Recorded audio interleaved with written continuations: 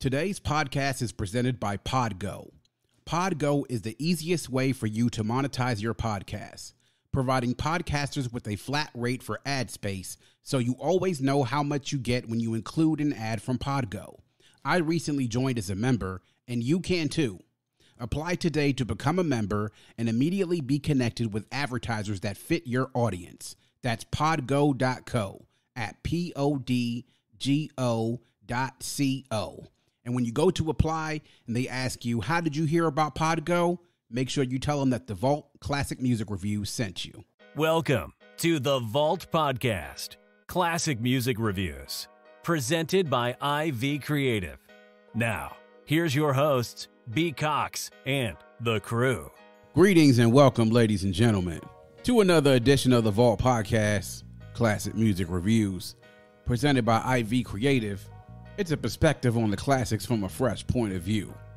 We appreciate you for taking your time and lending your ears to our perspective. You could be anywhere listening to anything, but you're right here with us, so we thank you. With you today is yours truly, B. Cox, and with you, of course, I have my boy, cousin Domo, aka Dominique Marks. He is the host and creator of Raw Sex Podcast.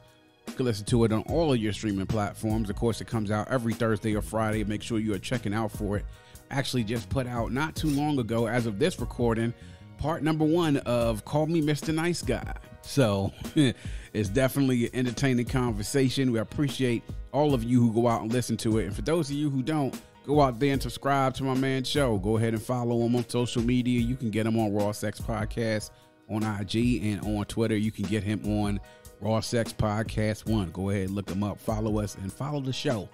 Go ahead and tell us what you think. So, of course, our motto here on the, the Vault Classic Music Reviews is hashtag open the vault, hashtag nothing but the classics or NBTC. And today, we're going to take you all the way back to the year 2000, 20 years ago, mm. back down to Atlanta and to the fourth studio album by Outkast, to the land of Stankonia. And released October 31st, 2000. 20 years ago. The fourth studio album by Outkast. This was really, to me, even the last true album they did as a cohesive unit before they went into. uh, Well, they did a couple of albums after this, but I think to me, this is really where I draw the line of demarcation where I really look at Outkast truly as a unit, where they were functioning and highly functioning as a unit. The other two, the Speakerboxxx and Love Below and Ottawa, uh, Speakerboxxx and Love Below to me is really just a two sets of this Big Boy and a Dre album or a 3000 album. And then Idlewild is more so based on a lot of things with the movie. And as a lot of people know, mistake, I consider that to be their worst album overall. But here it is Stankonia, Domo. October hmm. 31st, 2000, recorded between 99 and 2000, was recorded at what was once called the Bosstown Recording Studio in Atlanta and A&M Studios in Atlanta. Now, Bosstown Recording Studio used to be owned by none other than Bobby Brown. They bought the studio and they renamed it Stankonia Recording Studios. So, and the Bosstown Studio is actually where the uh, Outkast recorded a few of their albums, everything leading up to Stankonia. Yeah, it became their own studio and still their studio to this day.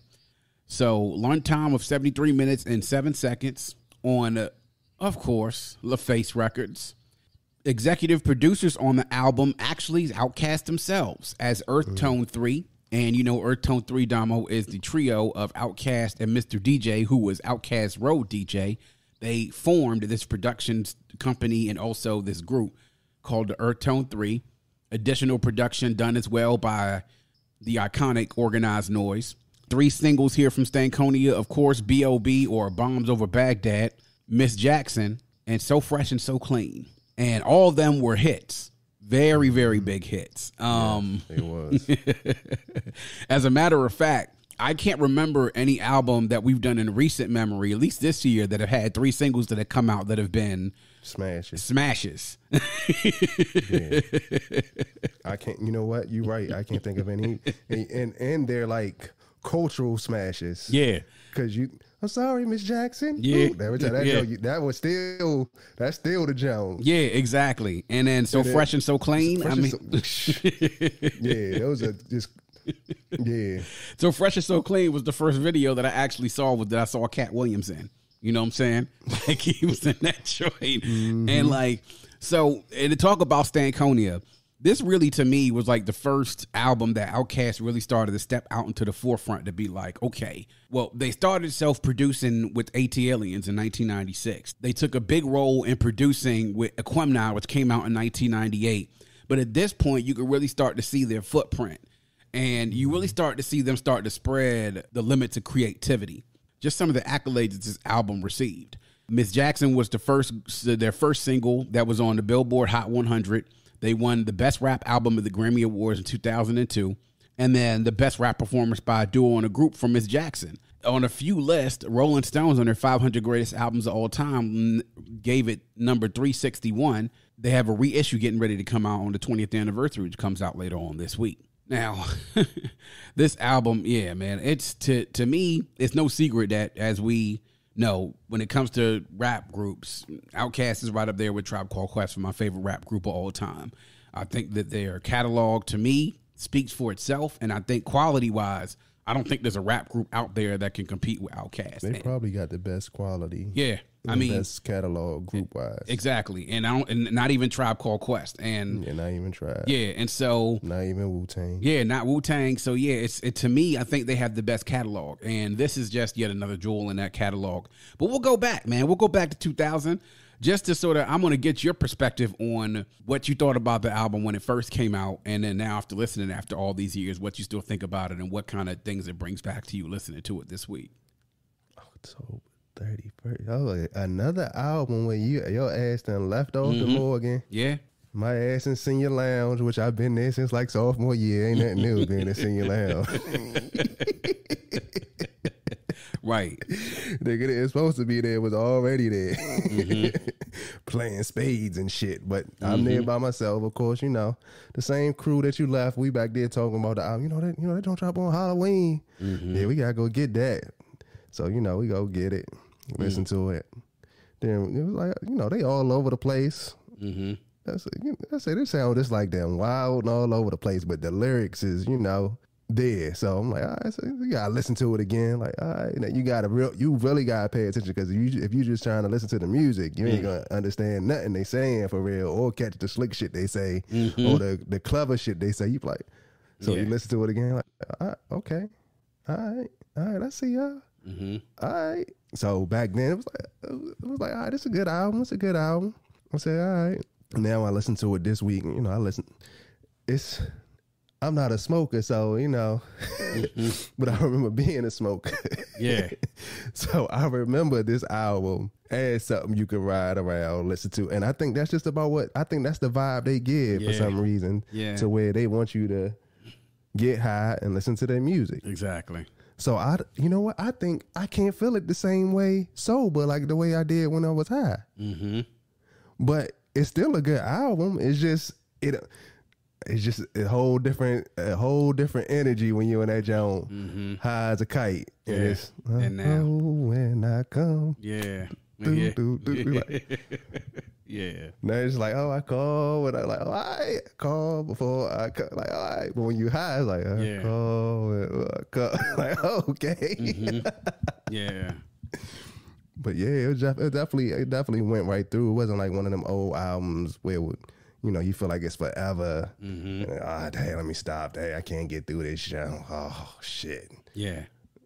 Now, for me, as you mentioned, this had dropped right when I was in Morgan, and these singles, as they dropped, dropped right around the time when I was starting school, and they came back to back to back. And the big thing was like the first thing I mentioned was like being able to listen to a song like "Bombs Over Baghdad," which came out. Actually, the single of those had been out way before I'd even got to Morgan, and then Miss Jackson was just such a big hit. And then the video that followed up behind that, and the imagery from the video with the owl and everything. Like, you know, Outkast in their videos used to kind of always, especially later on in their tenure, used to always kind of give you that feeling like where they were taking, like I said, the limits of creativity and they were stretching the limits of creativity. And the imagery is really what kind of helped bring you in and help give you a visual for the song. Listening to this when it came out, I had friends that listened to uh, Stankonia. And the album for me, even back then, was like the more that I listened to it, the more that I liked. And Mm-hmm. I think I walked into this kind of thinking like, okay, their last album was Aquemini. I don't know how much better they can do from that. And when I listened to it, and when I got a chance to fully digest it, like like you said, if you just listen to the music and don't pay attention to the lyrics, that's why I had listened to it a few times. I had listened to it probably seven, eight, nine, ten times before I kind of fully encapsulated everything and was like, oh, okay, I get it now. Now, after I was done, I was just like, okay, I don't know if this is better than Aquemini, but damn, this shit is pretty close. It's pretty close, and it's a, it's a damn good body of work. What I noticed when I was listening to it, even back then, is that I saw that their level, their, their creativity was being stretched, but then their levels were starting to go up as far as when you saw that they had control over their music. I think at this point you really started to see where the idea of speakerboxxx and the love below came around because you started to see mm-hmm. that divide between the two of them as far as like mm-hmm. stylistically. To me, I thought on this mm-hmm. album, Dre is always, always excellent, always exceptional. It's like almost with every one of Outkast albums, Big Boy took another step up. You know, like from Southern Playalistic to ATLiens took a step up. From ATLiens to Aquemini took a big step up. From Aquemini up to Stankonia, then it was like, all right, man. Well, my dude is really starting to find himself and really getting like not that he wasn't good before, but he really, to me on this, just kind of just really stepped up. And then listening to it now, I know exactly what you're talking about when you said the whole smoking factor, right? Like the whole being intoxicated with whatever it is that you are and being able to vibe mm-hmm. to this, right? Which is crazy though, because it's like, you know, with Dre, at this point, he wasn't smoking or drinking anymore. I do understand that thing of it, but even now, like not being medic- medicated, listening to it just just most recently this past week, did I feel that same sensation? No, but I think I was still mm-hmm. able to listen to the music and be like, yeah, man, like this is like this is crazy. You know what I'm saying? I think I had listened to this album in some time. Like if I go to listen to an Outkast album, this is probably not on my top list of the ones to listen to. I'll probably listen to Aquemini and Southern Playalistic before I listen to this mm-hmm. one, but but listening to it, I just kind of got a nice little reminder, like, yo, this is. And then to me, what I love about the fact without these Outkast albums from this era is that when it came to like organized noize and the Dungeon family, when people had projects, they all came out and contributed. So that's what I love is that to me, when the Dungeon family did things with Organized Noize and Outkast and Goodie Mob and whoever else, it was Slimm Cutta Calhoun or Cool Breeze or yeah, Ooh, Breeze, better you know, the champ. the champ, right? Exactly. to me, when they all with- to down to Big Rube and Society of Soul and Joy, when they all collaborate, that's when I think they've made their best music. You know, when the Dungeon family is together contributing to make somebody's project work. And when if you looked at the documentary, which was the sound of the art of organized noize, which was about organized noize and the rise of the Dungeon family, is that that's how they, be, they got where they were because everybody contributed on someone's project. Like if somebody was mm-hmm. coming out, everybody stepped up to contribute to that project to make it work.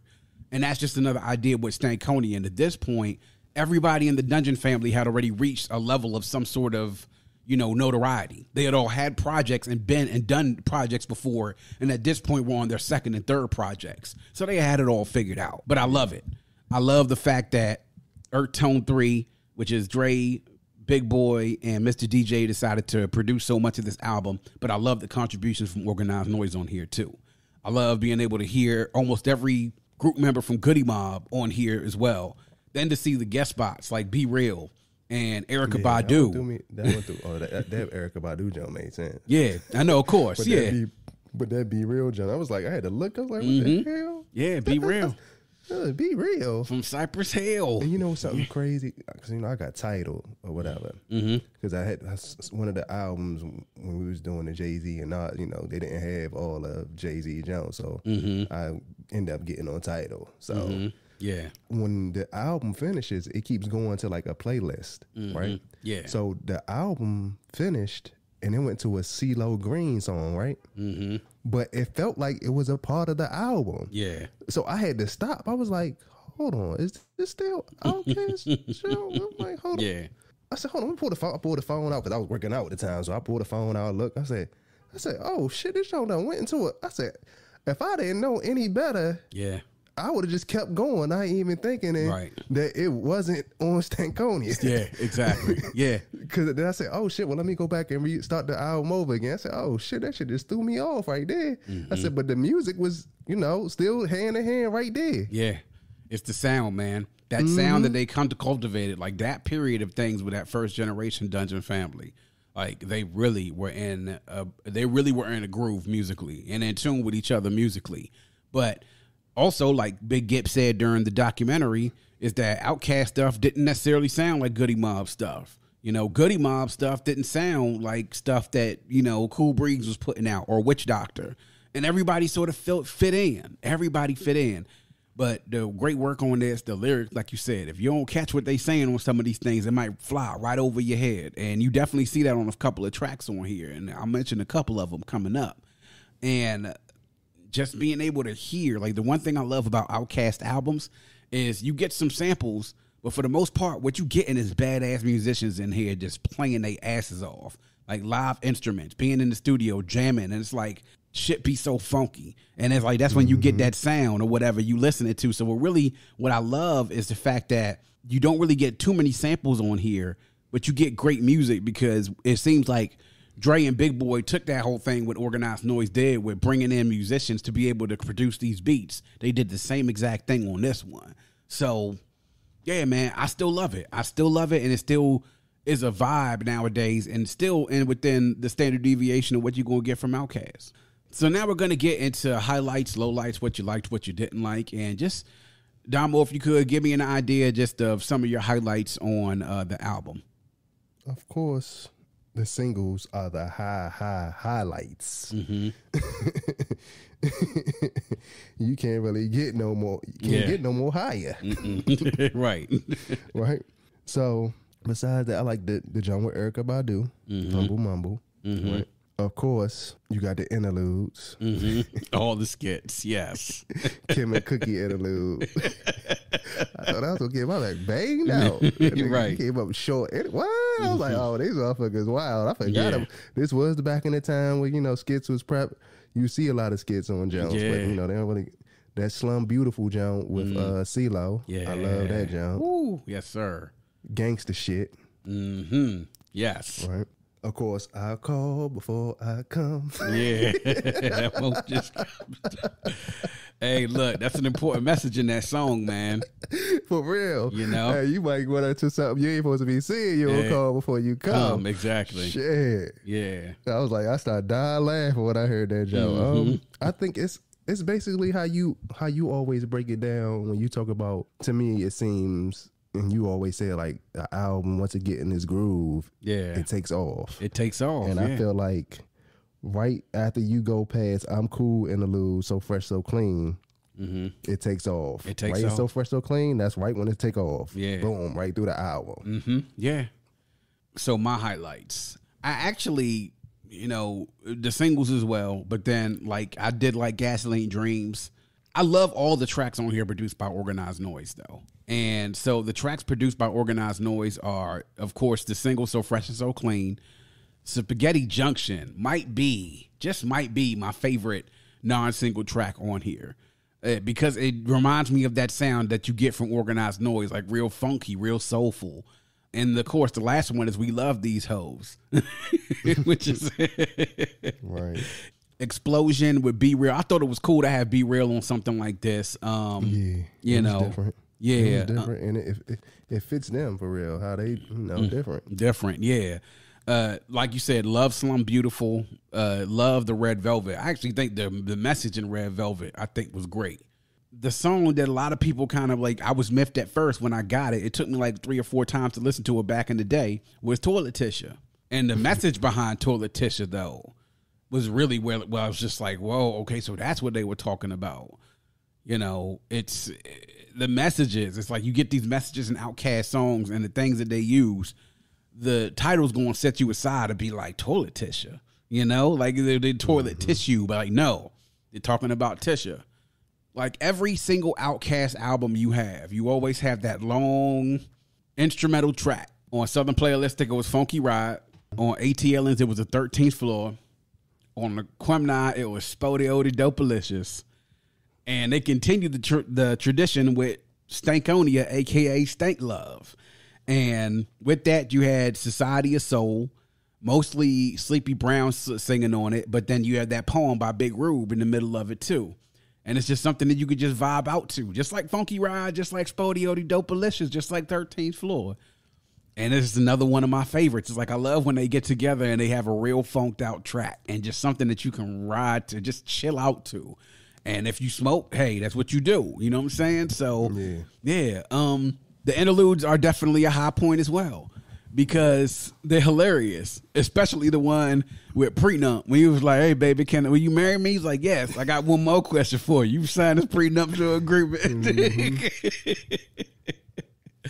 oh man, yeah.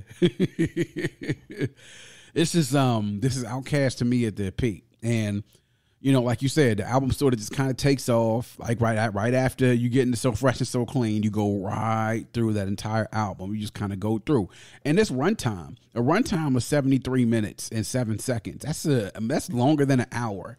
It doesn't really feel like it though when you're listening to it. It doesn't. You know, some albums you listen to, they only be like fifty something minutes long, but they feel like they drag on forever. This is seventy three minutes long. It doesn't feel like it takes that long. You know, That's so what I said. Like it went, when it went into the new song, I was like, Mm-hmm. "Oh, the album over." Yeah. yeah, man. Yeah, when it's at the end of Stank Love, and it's just that's the that's the end of it. Three songs only only here have samples and interpolations. It's so fresh and so clean.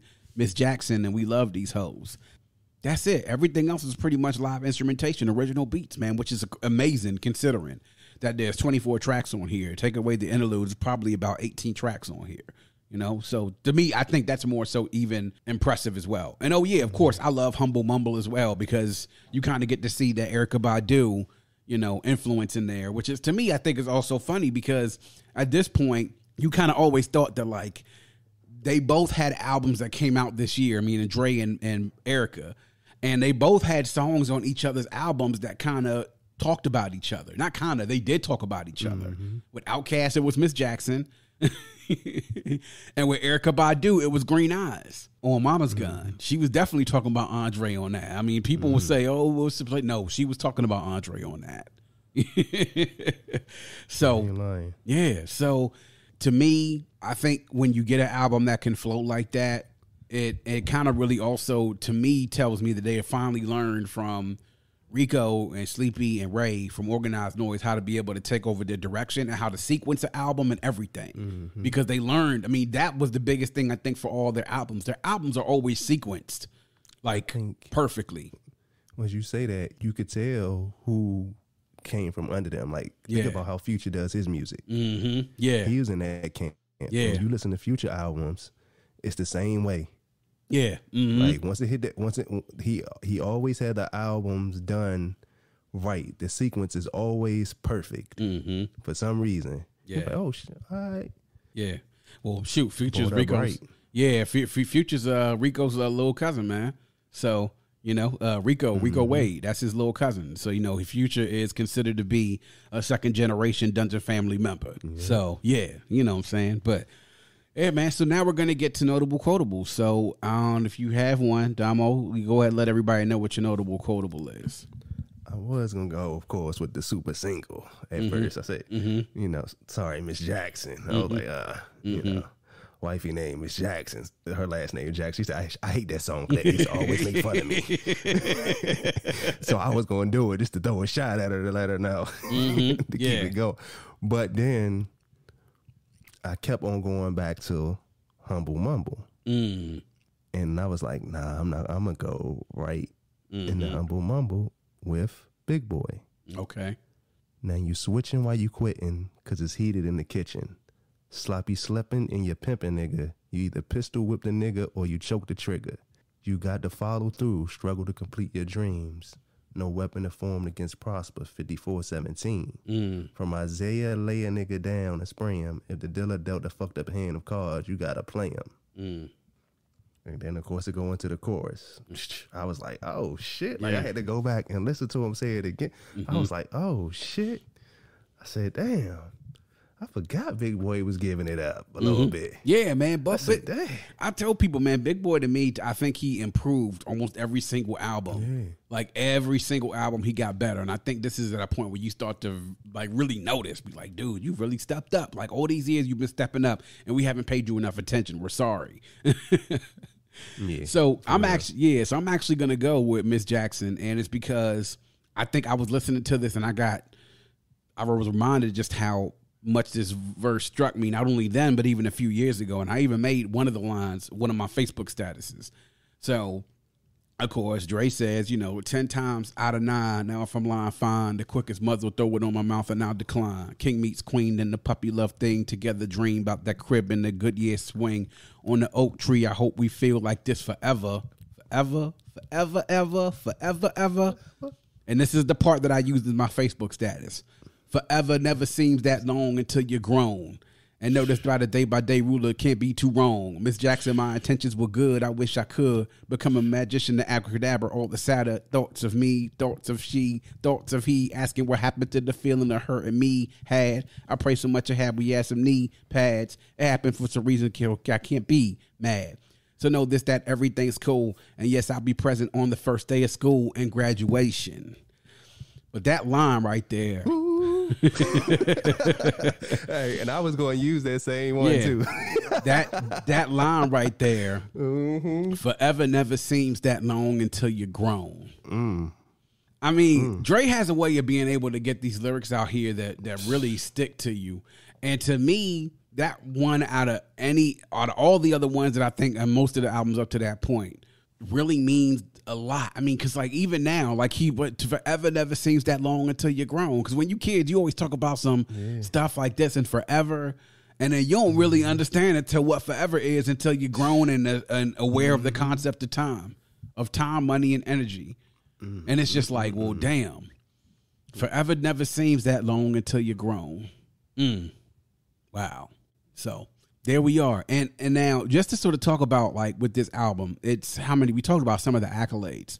Now, the influence and the legacy that this has had, like to me, I think this is probably, and this is mentioned in one of the articles about what it did as far as the Grammys are concerned.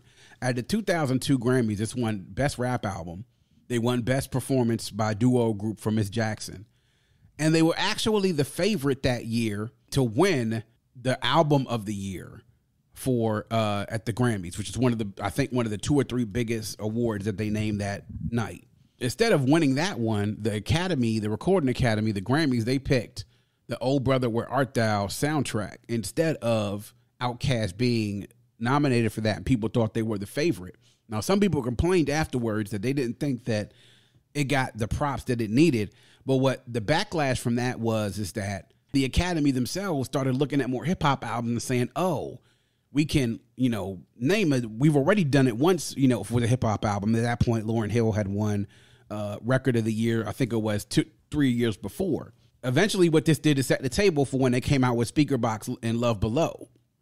Two years later at the Grammy, they won Album of the Year in the Grammys, and they took away, I think, like six or seven, six Grammys that night when they won. To me, I think that's where Outkast legacy is.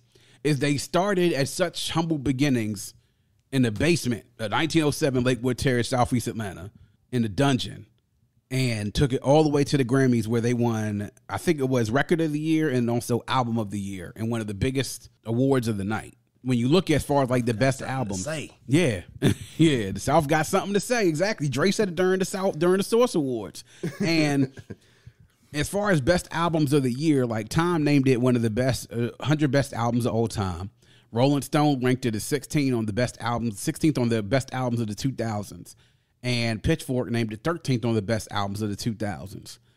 Rhapsody named it the number two album on the 100 best albums of the decade from 2000 to 2009. Janelle Monáe even stated that this and its experimental nature was an influence for her. Pill, rapper Pill, said that it was an influence. Also, Rage Against the Machine helped to do a remix of Bombs Over Baghdad. Like, so many different people looked at this album and it influenced a lot of things as far as when it came to hip hop culture. Like, you can even say a lot of the new artists and acts in Atlanta. You can even start, like you say, with Future and even artists that came afterwards, like Gucci Mane and Jeezy and even the artists like Shorty, uh, um, what's what's his name, Shawty Lo, and all these other rappers from Atlanta, like mid two thousands, definitely got their influence from this album. You can hear it in their music. You know what I'm saying? So, legacy and influence wise, to me, I think is even bigger than the sound and how great the quality of the album it is. So, mm-hmm. and then the album cover. like I've seen so many spoofs on that album cover with T-shirts and everything else. I even saw someone when Black Panther came out. There was a spoof of this with Killmonger and Black Panther on it, with Black Panther being pretty much in the same position like Big Boy is, and Killmonger being in the position where Andre is with his hands out, with his hair and everything. So, so now we're going to get to the test, the ultimate test of time. We're going to see what you think it is. So, Domo, what say you? Is this a certified classic, borderline classic, a classic in its time, or not a classic at all? It's definitely a classic in its time it's right there borderline certified classic to me because I don't feel like it's mm-hmm. their best album. Mm-hmm. So if I'm gonna hold it to its best, which is a great thing that you could say that. Mm-hmm. If I'm gonna hold it to their best album, and I'm not gonna give you a certified classic, that means you don't put a hell of a lot of work out, mm-hmm. a good workout. yeah. okay.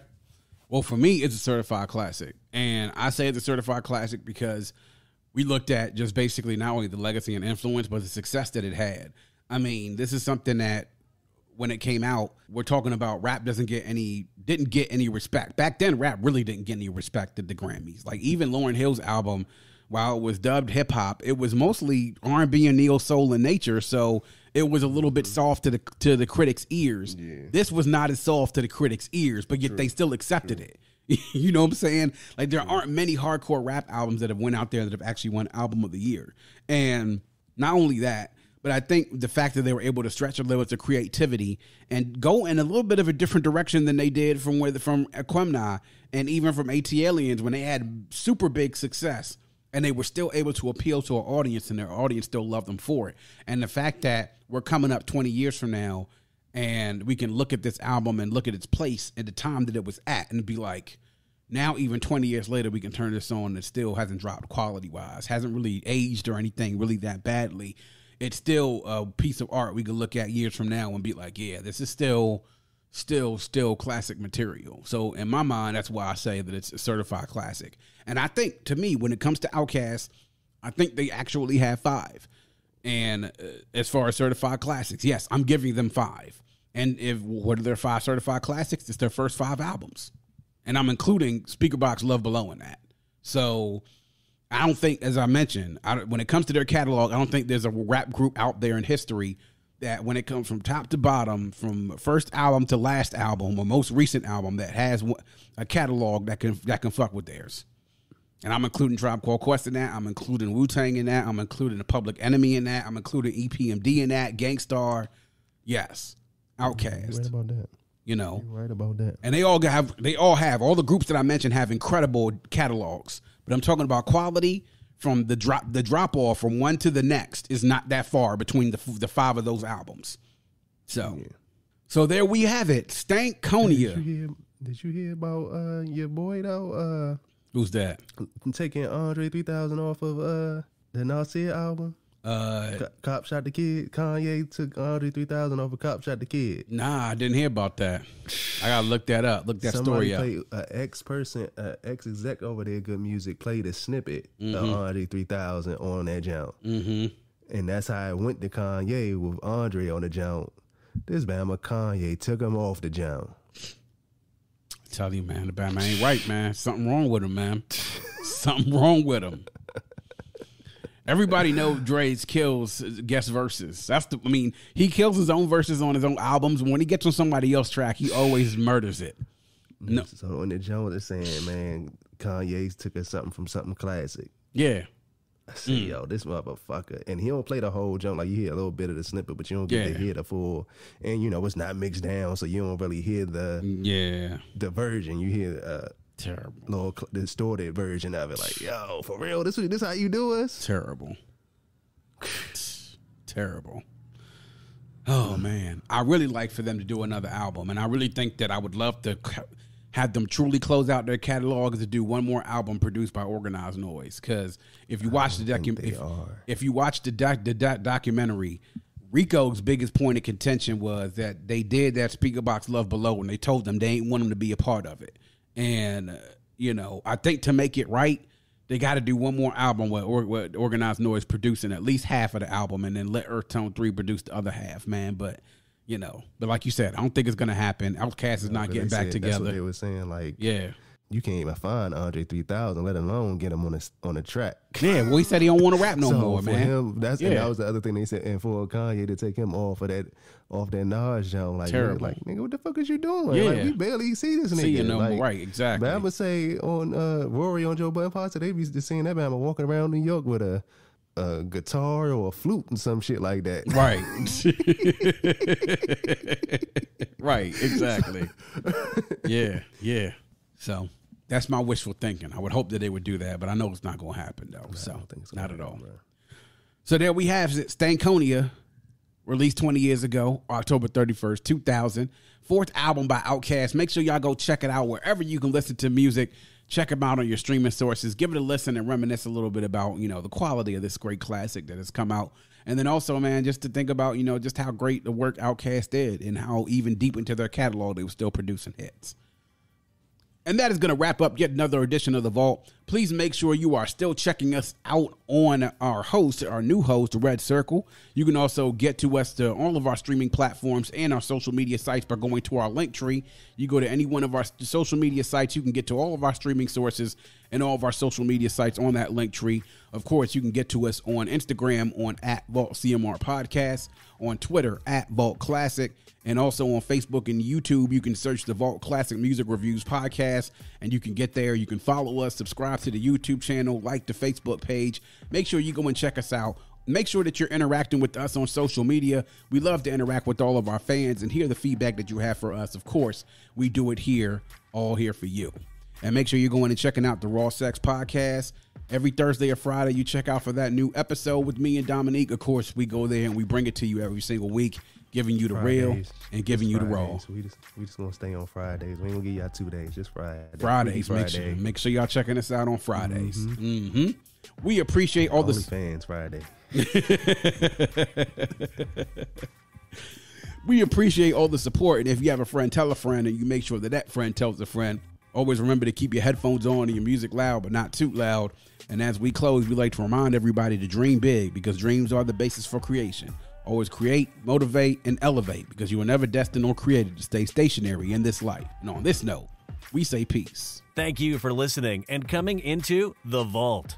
Please subscribe and follow us on Facebook at IV Creative and Instagram at E IVECRE8.